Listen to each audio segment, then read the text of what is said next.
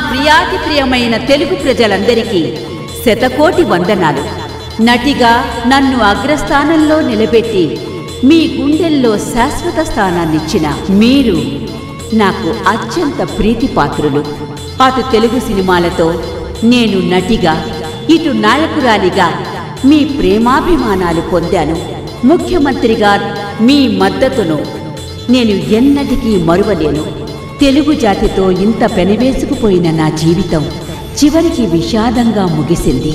ఈ చరిత్ర ఒక ముగిసిన చరిత్ర కాకూడదని నా జీవితంలో జరిగిన కొన్ని యథార్థ సంఘటనలు నన్ను ఆదరించే మీ అందరికీ తెలియచేయాలనే సంకల్పంతో నా వీరాభిమాని నా బాబు కోసం ఎన్నో పూజలను యాగాలను చేసిన తెలుగువాడు కేతిరెడ్డి జగదీశ్వర్ రెడ్డి నా జీవిత కథను ఆధారంగా చేసుకుని ఒక చలనచిత్రంగా నిర్మించ సంకల్పించారు. ఆయన చేస్తున్న ప్రయత్నానికి నా ఆశీస్సులుంటాయి. మీ అందరూ కూడా ఆయనను ఆదరించి ఆశీర్వదించాలని కోరుతున్నాను. ఇదే నా ఆత్మ సందేశం. వందనం. అభివందనం.